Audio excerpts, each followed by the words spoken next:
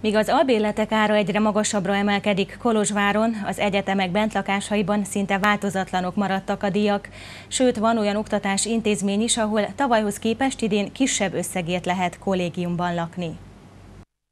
A Bábes Bolyai Tudományegyetem rendelkezik a legnagyobb kínálattal bentlakások terén Kolozsváron. Az egyetemi kampuszokban 16 bentlakás épületben több mint 5000 helyet biztosítanak a hallgatók számára. Ennél viszont nagyobb volna a kereslet. A felújítási munkálatok egyes diákszállókban még jelenleg is zajlanak. A hallgatók beköltözésére hónap végén az egyetemi év kezdete előtt kerül sor. Jó hír viszont, hogy az árak tavalyhoz képest nem változtak.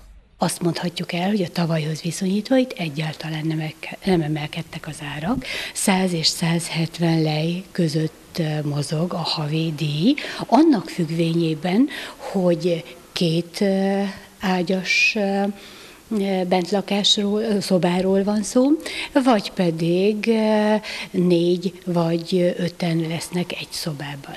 A Szapiencia Kolozsvári Karán a tanintézmény új helyszínre költözése után a bentlakás helye az előbbihez igazodva változott. A diákok idéntől a Betlen Kata Diakóniai Központ egyik szárnyában kaptak helyet. Ebben a szárnyban jelen pillanatban 32 darab hallgatói férőhely van.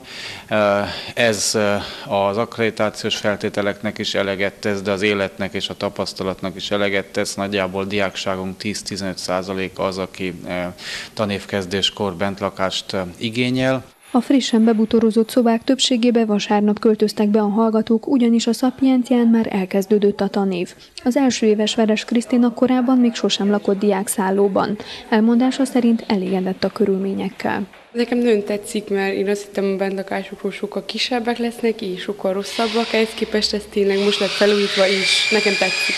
A szapiencia bentlakásában az árak a szobák méretének függvényében 290 és 400 lej között változnak, ami tavalyhoz képest egyes esetekben akár 60 lejes árcsökkentést is jelent.